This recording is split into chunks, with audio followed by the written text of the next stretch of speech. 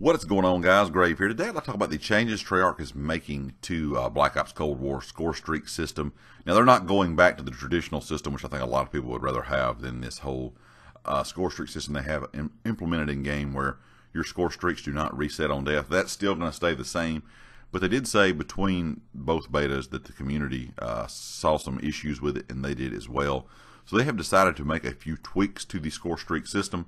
So first of all, what they just uh, said or kind of decided to do was make it a little bit more difficult to get the easier streaks. They said it was too easy to get the easy streaks and a little bit too difficult to get the hard streaks. They said some really high skilled players were having issues getting the high end kill streaks during the beta.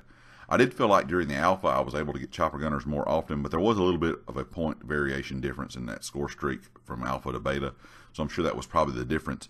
But at the same time, at the same time, I don't really want chopper gunner spam and, and grenade launcher spam. You know, nobody really wants that. So they're trying to, I guess, just kind of tinker with this to make it a little bit more manageable to get those higher end streaks if you're a really good player. But they don't want the low end score streaks to be called in as often. They said counter spy planes and uh, spy planes were called in way too often during the beta.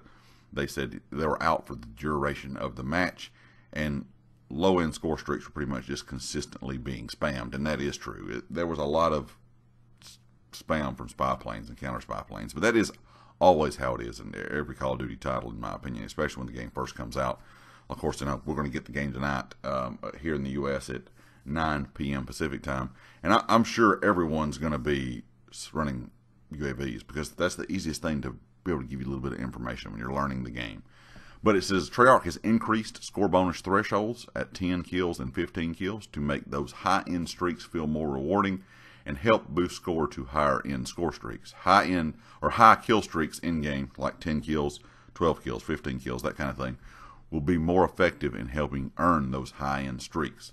The cost of score streaks have also been adjusted. They do not give the details of what those numbers are now, but they look to further reduce score streak spam and allow for more interesting player choice and strategy. It says that they have added also uh, variation to score streak cooldowns. Now it appears that the score streaks will have individual cooldown timers instead of global cooldown timers in game. They also said they're going to make these lower end streaks, such as the spy plane and counter spy plane, a little bit more difficult to get in game. They're not going to be as easy to get. Like I said, they did not give us the exact numbers of what these are going to be now like you know if, if a spy plane is going to be uh, 800 points or whatever the case may be.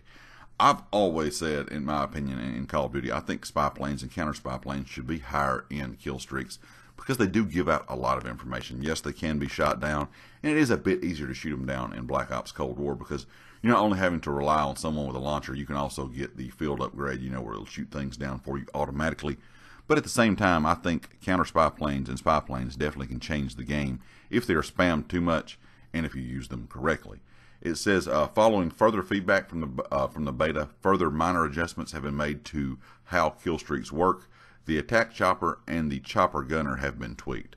Uh, they've increased the attack helicopter damage from a five hit kill to a three hit kill, and slightly reduced the chopper gunner's duration and damage. It says players can now see a numerical value for how much more score they need to earn to use their equipped score streaks. Uh, it says the player visibility have both been improved on the score streak tablet. So the speed and the visibility has both been improved. Of course, like I said, the game does launch officially tonight here in the U.S. at 9 p.m. Pacific time. That's 11 uh, p.m. Central. Of course, midnight on the East Coast. But there's going to be a lot of people hopping on playing tonight, and I'm kind of interested to see exactly how these score change or score streak changes will affect the game. I do like the sound of what they have done. I still wish we were back to that more traditional system. I, am just not a big fan of score streaks not resetting on death, but that's just me. Some people may like that, and that's perfectly fine if you do.